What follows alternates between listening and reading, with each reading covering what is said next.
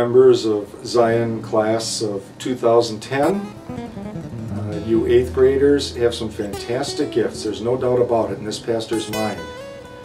But I want to go a little farther. I know that you're going to be doing some things with those gifts of yours, and hopefully it's all going to be to the glory of God. But I can't pretend that you are going to hold this as going to be your most wonderful DVD and you're going to play it day after day after day for the rest of your life. Chances are you may play it once or twice, maybe for some friends, relatives, and then shelve it. Uh, what I hope is that about maybe 20, 30 years down the road, if there's still a technology for it, that you'll take this out and play it again. At that time, I hope, and it's my prayer, that you're still believers in Jesus, that you're still holding on to Him. And not only you, but also your husband, or your wives, the rest of you guys, except for Andrew, who says he doesn't want to get married. But I think that that's going to change too. I pray that you're going to be faithful to that Savior, um, that you will have your family, your spouses, your children, maybe even your grandchildren if you see it at that time, faithful to Him. And then you will know the, the wonderful beauty of having a Christian education at Zion School. As refuge and strength in ever-present help in trouble, Psalm 46 1. Seek first his kingdom and his righteousness, and all these things will be given to you as well. Matthew 6, verse 33. Romans 1:16 I am not ashamed of the gospel because it is the power of God for the salvation of everyone who believes. John 8, verses 31 and 32. If you hold to my teaching, you really are my disciples. Then you will know the truth, and the truth will set you free. Be strong and courageous. Do not be terrified. Do not be discouraged, for the Lord your God will be with you wherever you go. Joshua 1 9. Jesus said, My sheep listen to my voice. I know them, and they follow me. I give them eternal life, and they shall never perish. No one can snatch them out of my hand. John 10 27 28. Trust in the Lord with all your heart, and lean not on your own understanding. In all your ways acknowledge him, and he will make your paths straight. Proverbs 3, verse 5 and 6.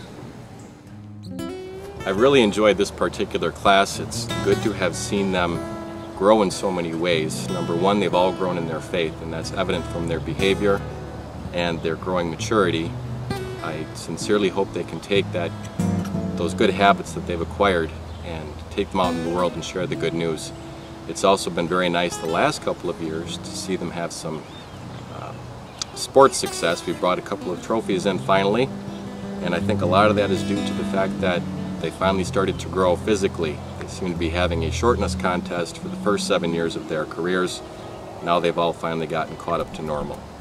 I'll miss the class very much. Thanks for all your hard work.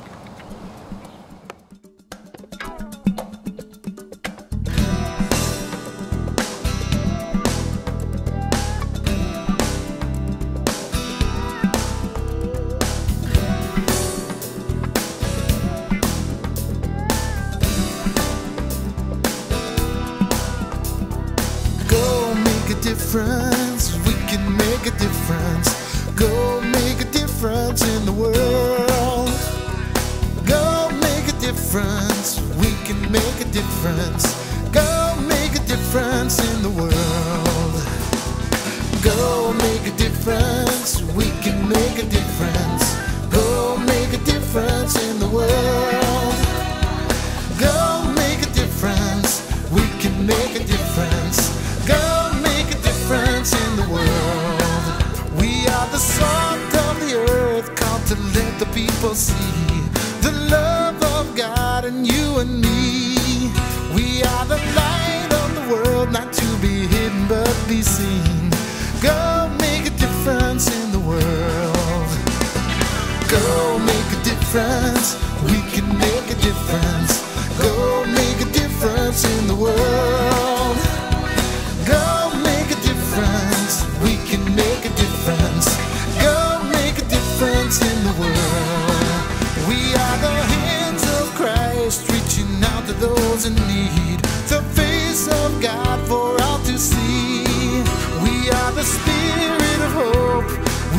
Voice of peace. So go make a difference in the world. Go make a difference. We can make a difference. Go make a difference in the world. Go make a difference. We can make a difference. Go make a difference in the world. So let your love shine on. Let it shine for all to see. Difference in the world. And the Spirit of Christ will be with us as we go. Go make a difference in the world. Go make a difference. We can make a difference. Go make a difference in the world.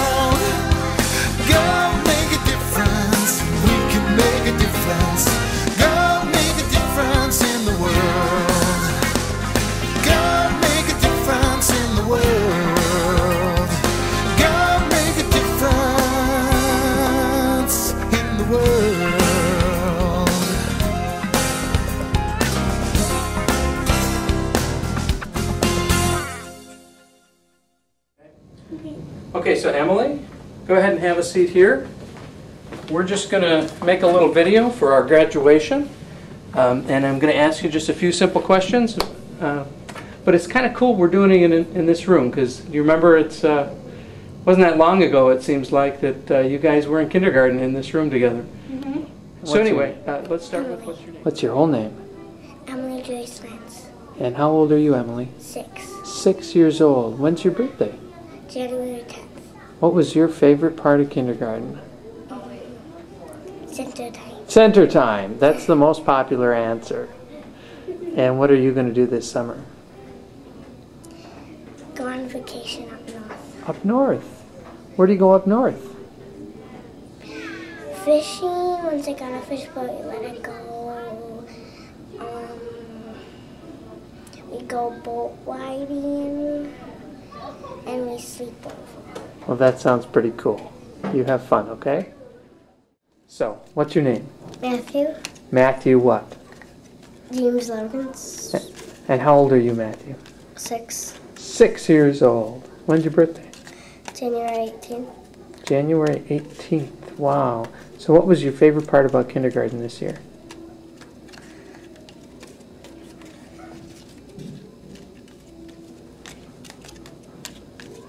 Recess, Recess. Okay, cool. And what are you going to do this summer? Don't know? You play? Okay. Thank you. Here we go. What's your name? Jackson, Nicholas, Reagan Elaine Myers, Aaron, Dominic, Mary Elizabeth Meyer, And what was your favorite part about kindergarten this year? mm, center time, Center time. Yeah. and when we get to go home. You got to read. Got to read. Cool. Uh, that's your nothing. Nothing? Yeah, nothing. Did you like kindergarten? Yes. Good. You guys got to play at the end of the school. That's cool. What's your name? Jake. What's your whole name? Jacob Eugene Canal Frank. Wow. And how old are you, Jake? Six. When was your birthday? September 9th. Oh, wow. And what was your favorite part about kindergarten? Um, the center time. Center time. Everybody says that. Yeah. Yeah. And what are you going to do this summer? Um, we're gonna go up, down to Texas. Texas. You ever been there? Yeah. My cousins have a swimming pool. Your cousins have a swimming pool in Texas. Well, that's pretty cool. Yep. Okay. Thanks. You're welcome. What's your name? BJ. What's your whole name? BJ Joel Selson. And how old are you, BJ? Six. And when's your birthday? May 28th. And what was your favorite part of kindergarten? Learn about Jesus' word. Oh. And what are you going to do this summer? Go to fairs. Go to fairs? Mm-hmm. That sounds like fun. Thank you, BJ. You're welcome. So, what's your name? My name is Miss Ficko. And how old are you? Uh-oh. 43, they all know it anyway. Okay. And when's your birthday? March 20, And what was your favorite part of kindergarten this year? sharing God's Word with the children and watching their faith grow.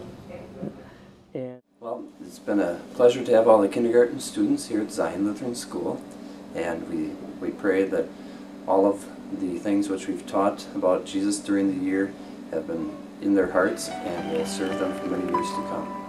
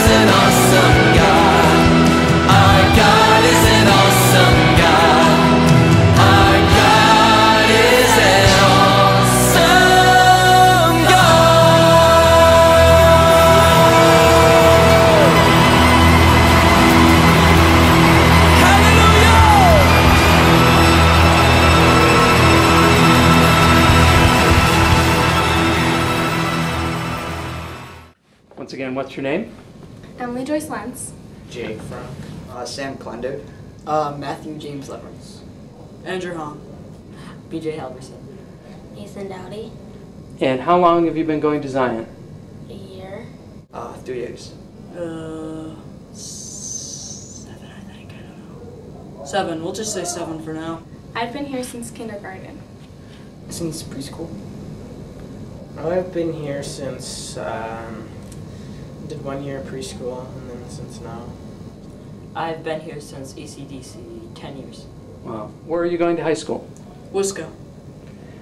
I'm going to Arrowhead uh, Public School. Uh, we don't know her yet.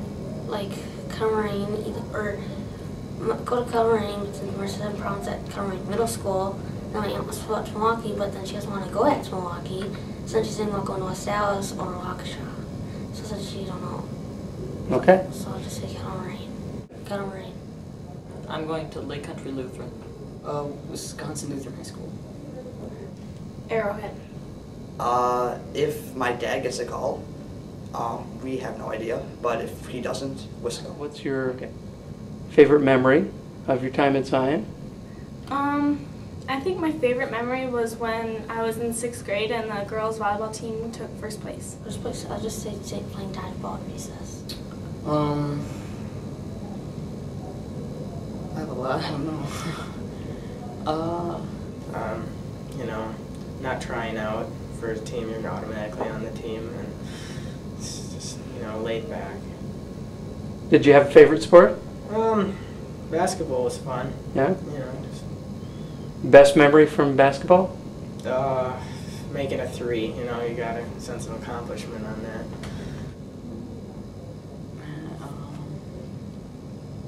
Really, just all the good friendships I've had here. I mean, sure, we've had our good times and bads, but I think they're friendships that will last us a while. probably when we won the consolation in basketball this year. Uh, probably winning consolation in basketball this year. I think it's the first time that the boys basketball won a trophy. And Yeah. Yeah. At least since I've been here. yeah. What do you think you take with you from your time at Zion that'll help you in high school and beyond? Oh, the Christian education, learning about God every day, Jesus. There's, it's all, it's, it really strengthens you, and it'll carry that through the high school years. Great. Thanks. Reading the Bible. Yeah. And why is that important? Because, um, to hear about God's Word. I think my friends will stay with me, hopefully. Um, my Christian education, um, how much fun I've had here, and, well, my regular education. Um, to stay with Jesus and don't let anybody tell you um, anything else. Great. Thanks.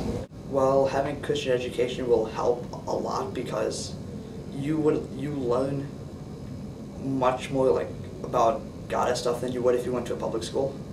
So that will help in the long run when you get out of if you don't go to Christian high school or, Great. or if you do. Great. Thanks. I got that mustard seed to grow, and it's already growing. It's I, my faith didn't start here, but sure did grow. I mean, with confirmation class, Word of God, Christ-like, catechism, all that. That just has really helped my faith grow. And I think going to Wisco will also. And yeah. Great. Well, the time has come for the eighth grade class to leave Zion Lutheran School. Um, we're not happy to see you go. We're sad as, as you uh, leave school through graduation. Um, you have been an important part of all of our lives for uh, quite a number of years, uh, many of you longer than me even. And uh, we look forward to seeing you again when you come back to visit. Congratulations on all of your accomplishments. You're a very gifted group of, of young people. And uh, it is my prayer that you will continue to use your gifts uh, to serve others and to serve God. That you will remain close to Jesus by studying His Word, being close to that Word, and using that Word daily in your lives.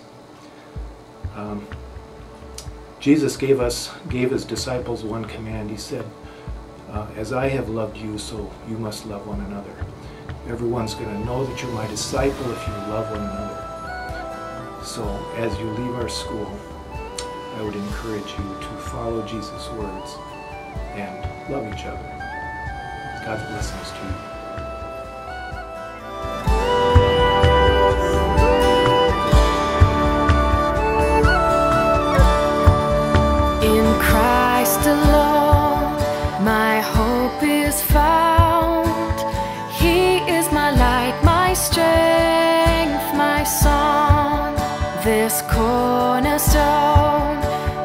Solid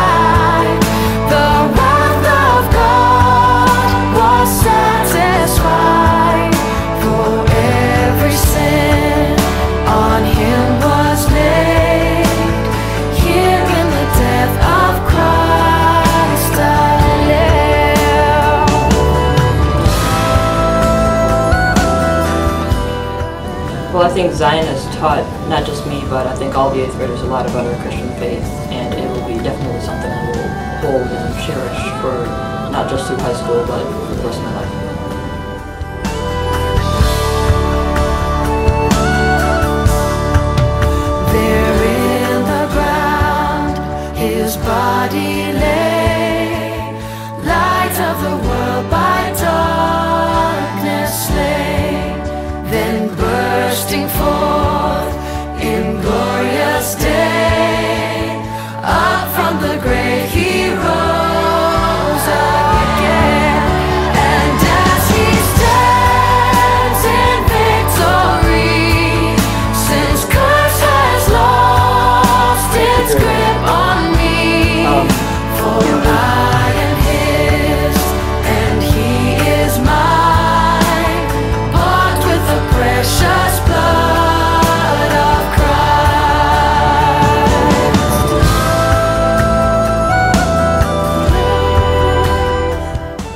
Memory from your time at Zion? That would be uh, back at the end of the basketball season this year when I, I had never ever made a, made a point, never scored a basket ever. I was just the total bench warmer guy. Mr. Nerby only threw me in if he had to. But then that one time we were winning, it- it- there was no chance the other team could ever pull ahead of us. We were going to win no matter what. Fourth quarter, Mr. Nerby says, okay, new strategy, get Andrew the ball. He's to score. And, okay, I'll admit I didn't score, but so what? That was, I had never ever felt so appreciated.